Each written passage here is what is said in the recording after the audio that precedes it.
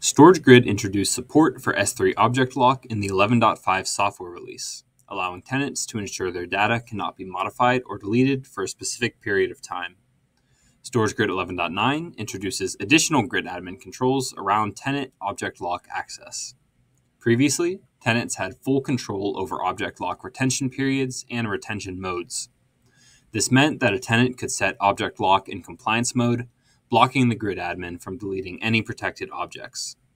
For service providers, for example, this introduced a risk of tenants locking objects for longer than their agreed service period, intentionally or otherwise.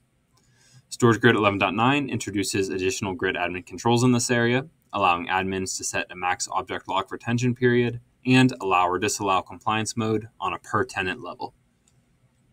Now let's log into StorageGrid and try out these settings. We can start by enabling object lock on the grid. Note that this setting cannot be disabled in the future and requires an ILM policy that does not delete data and provides adequate data protection.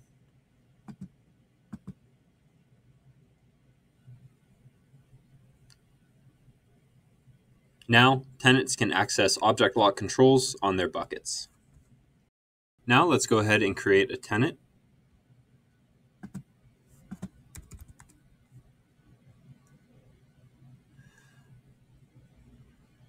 Under permissions, we can access the tenant settings for S3 Object Lock. First, we can set the maximum retention period. This is the maximum time during which a locked object cannot be deleted.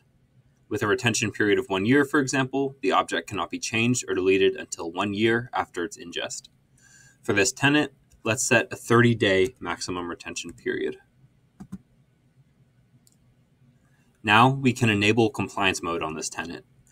Object Lock offers two retention modes, compliance and governance. Compliance mode will block all changes and deletes from any user, including the grid admin. Governance mode allows changes and deletes from users with special permissions, but blocks everyone else. We can allow compliance mode for this tenant. In the future, we can increase this tenant's max retention period or allow compliance mode if it was initially disallowed. We can decrease the max retention period or disallow compliance mode as long as no existing buckets on the tenant conflict with the new object lock settings. For example, if this tenant already created a bucket with compliance mode, we cannot disallow compliance mode in the future on the tenant.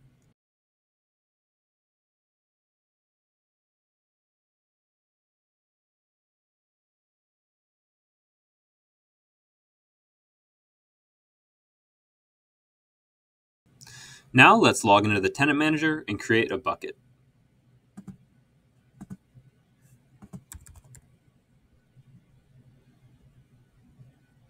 Under settings, we can enable S3 object lock on this bucket.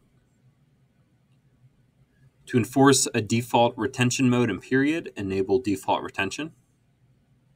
Now we can choose the default retention settings that this bucket will enforce. Since governance mode is allowed for this tenant, we can select it here. Now let's pick a default retention period. We can see the max retention period allowed for this tenant is set to 30 days. If I enter 31 days, I'm prompted to contact my administrator. Let's set a default retention period of two weeks for this bucket.